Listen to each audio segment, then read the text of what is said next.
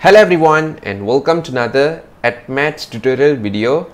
Now I'll be discussing SPM 2017 Paper 1 question number 17 from Form 5 Chapter 3 Integration Short Question. Okay, before that, please like this video to show your support and subscribe to the channel for more upcoming mathematics tutorial videos in the future. Okay, let me read the question now. It is given that integral 5 over 2x plus 3 to the power of n. So if you can't see the image clearly, this is the letter n guys. Okay, with respect to dx is equals to p over 2x plus 3 to the power of 5 plus with c where c n and p are constants. Find the value of n and of p. So this is the overall question. So I hope that you will attempt this question in the future if you could manage to solve this question, a big thumbs up to you guys. If you can't solve this question, no worries. I'm going to show you the step-by-step -step working and the solutions. Okay guys, before I forgot, for this question, I'm going to use two methods to solve the question. Okay, so without further delay, let us start to solve the question by using the method 1 now. For the method 1, what we're going to do is, we're going to integrate this 5 over 2x plus 3 to the power of n and then later on that answer we're going to compare with this given equation where p over 2x plus 3 to the power of 5 plus with c. So through the comparison you should able to get the answer of n and p. Okay, so that is the overall idea on method 1. So let us perform the integration for this. Okay, but before that, okay, this 2x plus 3 to the power of n. So we will move it to the top. So from here, 5 in a bracket 2x plus 3 to the power of negative n respect to dx. Okay? So from here the next step is we can able to perform the integration. So okay you integrate this. Okay, you'll get 5 in the bracket 2x plus 3 okay the power you plus with 1 so from here you get negative n plus with 1 okay and then you divide with negative n plus with 1 and then the bracket inside you differentiate.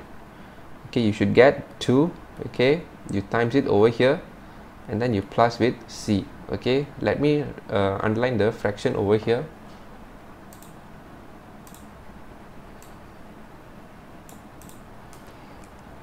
Okay? So from here you should get 5 in a bracket 2x plus 3 okay to the power of negative n plus 1 and then divide with 2 minus with 2n okay and then you plus with c. Okay let me underline the fraction over here.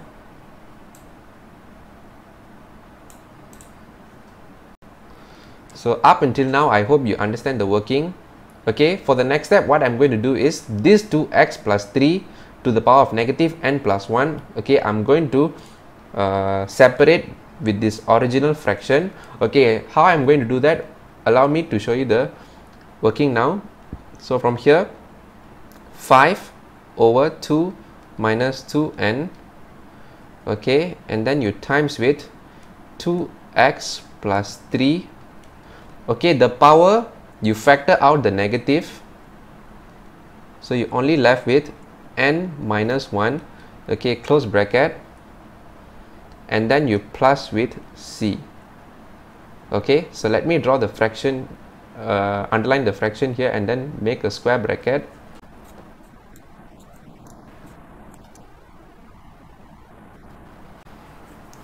Okay? So for the next step what we're going to do is this 2x plus 3 to the power of negative uh, n minus 1 in a bracket. So we're going to uh, change it into a, standard fr fraction form where will be 1 over 2x plus 3 to the power of n minus 1 okay so from here so it will become 5 over 2 minus 2n okay and then you times with 1 over 2x plus 3 to the power of n minus 1 okay and then you plus with c. Okay let me underline the fraction over here.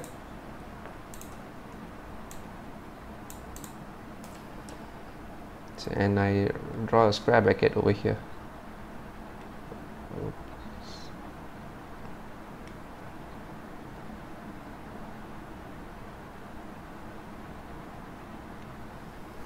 For the next step what you're going to do is we're going to combine these two fraction okay from here. You should get 5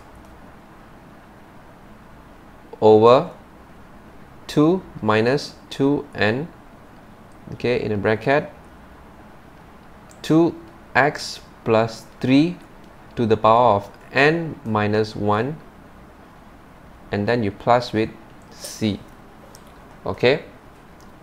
So once you've done this the next step what you can do is you can now do the comparison okay? So you can start with the comparison of n minus 1 with 5 over here. Okay from here n minus 1 is equals to 5 so from here you should get your n is equals to 6 okay that is your first answer. Okay let me underline it.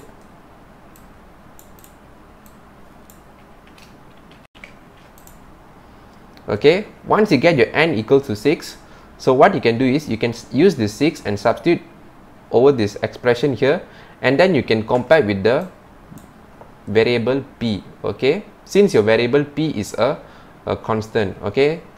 So from here when n is equal to 6 5 you divide with 2 minus 2 and then you times with 6 is equals to P okay so you calculate this you should get negative 5 over 10 is equals to P. Okay you simplify this you get 1 you simplify this you get 2 so therefore you should get your P is equals to negative 1 over 2 so this is your final answer. Okay let me underline the solution now. Okay so that is all for the method 1 okay for the students i don't really recommend the method 1 because as you can see here the steps are pretty complex where you will tend to make uh, mistakes if you are not uh, careful on what you're doing. Still can't understand. Okay don't worry. I'm going to show you the method 2 now. Unlike the method 1 method 2 is far easier. So what you're going to do is instead of integrating this we are going to differentiate p over 2x plus 3 to the power of 5 plus with c and then we're going to compare with this expression over here inside this integral. Okay so from here let us write this down.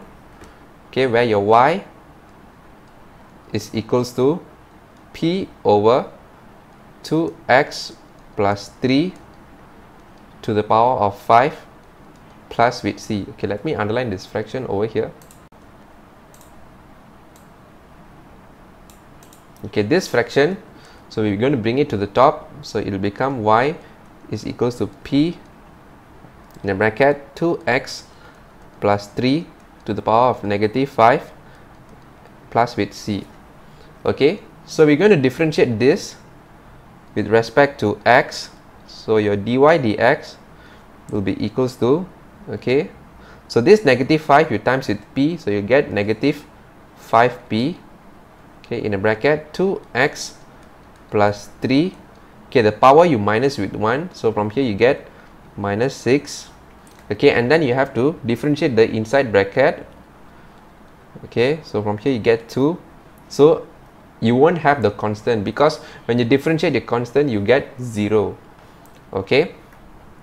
So from here let us continue our working. So negative 5p you times with 2 so from here you get your dy dx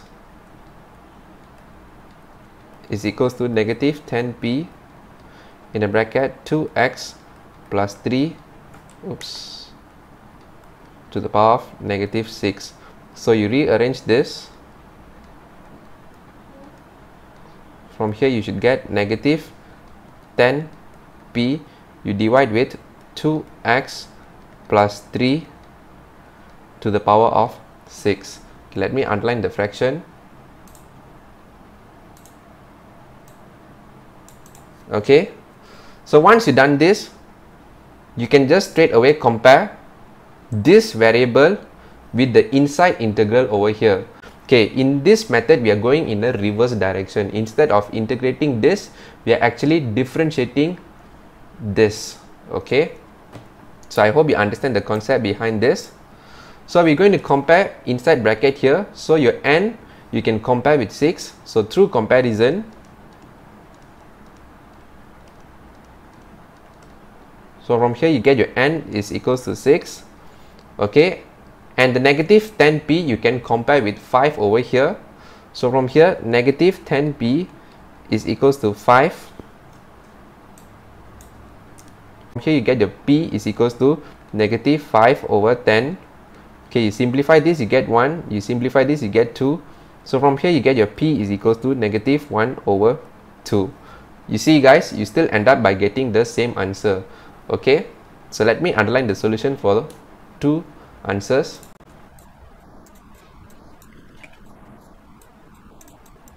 Okay. So that is all for the step-by-step -step working and solution for this question. I hope you understand the full working that i've shown to you. If you like this video please give your thumbs up if you haven't subscribed to the channel please subscribe to the channel and hit the bell icon for more upcoming mathematics tutorial videos in the future. And not to forget to share this video. Thank you everyone for your support and i'll see you in the next video